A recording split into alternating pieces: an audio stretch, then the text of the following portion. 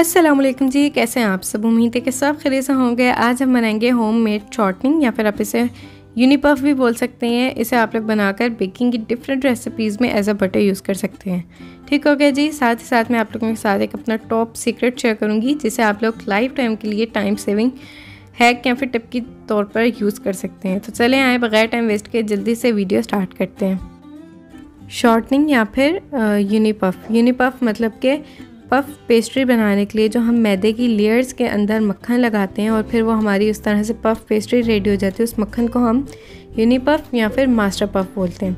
वो बनता है इस घी से तो यहाँ पर मैंने एक किलो घी लिया है। मैं एक साथ ज़्यादा क्वांटिटी में यूनिपफ या फिर शॉर्टनिंग बना रही हूँ, क्योंकि इसे हम बनाकर एक दो महीने के लिए स्टोर भी कर सकती हैं।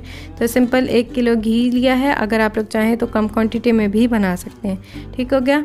तो इस घी को हम लोगों ने गर्म करना है, लेकिन उससे पहले आपने क्या करना है कि यहाँ पर आपके पास बर्फ़ और ठंडा पानी ज़्यादा क्वान्टिटी में पहले से रेडी हो। कोई इसमें रॉकेट साइंस वाली बात नहीं सिंपल आपने घी को मेल्ट करना है कि ये ऑयल के फॉर्म में आ जाए। जब घी मेल्ट होकर कंप्लीट ऑयल के फॉर्म में आ जाए तो उसके बाद आपने फ्लेम को मीडियम हाई करना है और पाँच से छः या फिर छः से सात मिनट घी को आपने अच्छी तरह से गर्म करना है। गर्म करने से क्या होगा कि घी में जो एक स्पेसिफिक स्मेल और फ्लेवर होता है ना, वो हमने बस ख़त्म कर लेना है। घी को जो है मैंने पाँच से छः मिनट अच्छी तरह से गर्म कर लिया है तो इसमें जो एक स्पेसिफिक स्मेल होती है, वो अब इसकी ख़त्म हो गई है। अब बस आपने फ्लेम को बंद करके इसे ध्यान से चूल्हे से उतार लेना है। उसके बाद जो है आपने इसका टेम्परेचर डाउन होने का वेट करना है। अभी तो ये बहुत ज़्यादा गर्म है ना, इसमें से तपिश निकल रही है। जब ये इतना सा गर्म हो कि इसमें आप फिंगर टच करने के काबिल हो ना, यानी कि नीम गर्म हो जाए तो फिर हम क्या करेंगे कि एक बड़ा सा बोल लेंगे और इसमें जो है ढेर सारी बर्फ़ कूट के ऐड करेंगे। साथ ही जो पानी बिल्कुल जमने के करीब होता है ना ठंडा ठंडा वो भी आपने इसमें एक डेढ़ लीटर ऐड कर देना है। उसके बाद जो है इसमें आपने ये नीम गरम घी ऐड कर देना है। अब आपको इसे नीम गरम क्यों करने का बोला है? क्योंकि क्या होता है कि घी या फिर ऑयल जो भी अगर गरम गरम हो, उसके ऊपर थोड़ी सी पानी की छीट जल जाए तो वो कैसे उड़ना स्टार्ट हो जाता है? हमारा फेस हाथ जल जाते हैं। तो इसी तरह जब आप ये तेज़ गर्म घी पानी में डालेंगे ना तो तब भी ऐसे ही होगा। तो इस वजह से लाजमी लाजमी लाजमी बहुत याद और एहतियात से आपने इसे पहले नीम गर्म करना है। डालना है, इसमें हमने थोड़ा नीम गर्म ही है, बिल्कुल ठंडा नहीं करना। और फिर जो है आपने इसमें डालना है। फिर बस इसे देखें, जैसे ही आप डालेंगे ना तो ये फ़ौर जमना स्टार्ट हो जाएगा। लेकिन आपने इसे डालने के बाद कम अज़ कम छः घंटे, ज़्यादा से ज़्यादा दस घंटे, यानी कि ओवरनाइट के लिए आपने इसमें लाजमी डिप रखना है। किसी ने भी स्मार्ट नहीं बनना, क्योंकि ये छः से आठ घंटे का जो रेस्ट है, वो लाजमी है। तो मिलते हैं फिर छः आठ घंटे के बाद। छः आठ घंटे के बाद हमारी वापसी होती है एक अदद जख्म के साथ। धनिया काटते हुए आधा नाखून कट गया। खैर, ये तो फिर शेफ़्स की शान है, ऐसे छोटे मोटे ज़ख्म। अच्छा जी तो यहाँ पर वापस आते हैं तो क्या हुआ है कि बज़ाहिर तो आपको नज़र आ रहा है कि सिंपल बर्फ़ मेल्ट हुई है, बाकी कुछ भी नहीं। लेकिन ये तो छः आठ घंटे में इसमें जो प्रोसेस होना होता है ना, वो हो जाता है, लेकिन हमें दिखने में ऐसा फील नहीं होता। पानी बिल्कुल अलग हो गया है, घी बिल्कुल अलग है। अब आपने क्या करना है कि ये जो घी घी है, इसे आपने उठाकर थोड़ा थोड़ा लें ताकि आप अच्छी तरह से इसे निचोड़ सकें। अच्छी तरह से आपने इसे निचोड़ना है बहुत ज़्यादा अच्छी तरह से हाथों की मदद से। कि इसके अंदर बिल्कुल भी पानी नहीं होना चाहिए। इसे तोड़ें, मोड़ें, फिर निचोड़ें, फिर तोड़ें, मोड़ें और फिर निचोड़ें।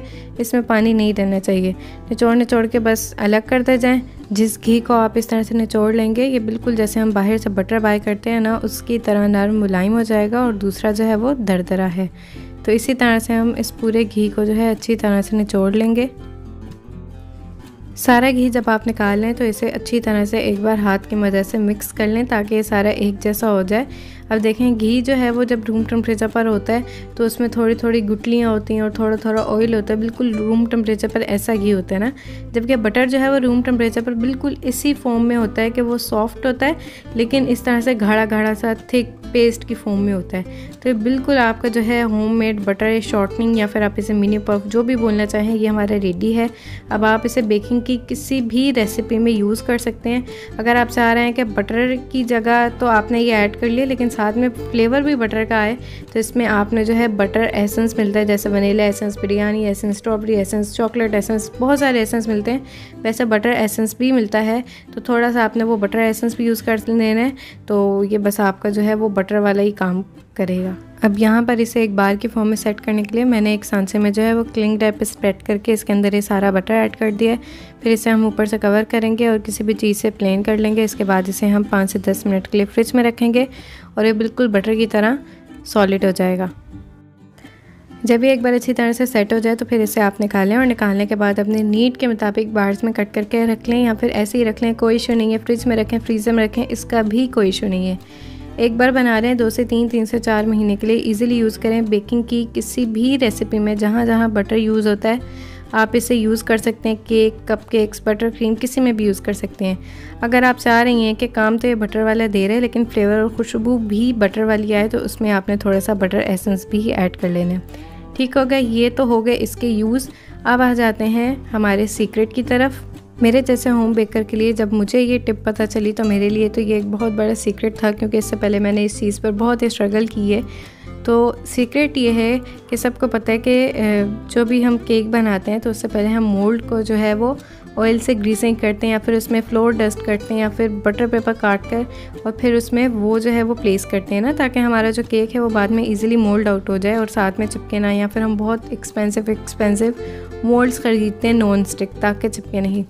लेकिन फिर भी वो बाज़ों का चिपक जाता है। तो सबसे पहले तो ये था कि हम मोल्ड को जो है ऑयल से ग्रीस करें और उसमें मैदा डस्ट करें। उसमें हमारा टाइम भी लगता था, मेहनत भी लगती थी, मैदा भी थोड़ा बहुत ज़ाया होता था। फिर दूसरा क्या था कि हम बटर पे ऑयल ग्रीस करके उसमें बटर पेपर प्लेस करते थे ना? तो उससे भी हमारा केक जो है इजीली मोल्ड आउट हो जाता है, लेकिन उसमें भी हमारी मेहनत है टाइम है और जो है बटर पेपर भी इजीली सबके घर पर अवेलेबल नहीं होते। तो पहले तो जिसको नहीं पता उसने सिर्फ़ ऑयल से ग्रीस करना है केक बनाना है और केक उसमें चिपक जाना है। फिर ऐसा ऐसा करके उसे ये मैदा डस्ट करने वाला पता लगेगा, फिर ऐसा ऐसा करके उसके पास अपार्टमेंट यानी कि बटर पेपर आएँगे, फिर वो बनाएगा। तो फिर आपको जाके पता चलेगा कि अगर आप इस तरह से ये जो शॉर्टनिंग या फिर मिनी पफ जो भी आप इसे बोलें, जिस भी नाम से आपने मेरी ये रेसिपी सर्च की है, ये जो आप बनाएँगी, अगर आप अपने पैन को नॉन स्टिक भी पैन लेना तो अगर आप अपने पैन को इससे ग्रीस करेंगी ना, और उसके बाद केक बनाने के बाद जब आप सांचे को मोल्ड आउट करेंगी तो यकीन करें कि आपका सांचे में केक जो है वो ज़रा सा भी नहीं चिपकेगा। बिल्कुल आप समझेंगी ओ हो आज तो जादू हो गई, कैसे मोल्ड आउट हो गया जल्दी से। तो ये थी मेरी आज का बहुत बड़ा सीक्रेट। मेरे लिए ये सीक्रेट थे, स्पेशली यकीन करें बस। तो इस तरह से आपने इसे ट्राई करना है। वीडियो पसंद आई है तो वीडियो को लाइक करें और चैनल पर करना है तो सब्सक्राइब ज़रूर करें। मिलेंगे इंशाल्लाह नेक्स्ट वीडियो में। तब तक के लिए अल्लाह हाफिज़।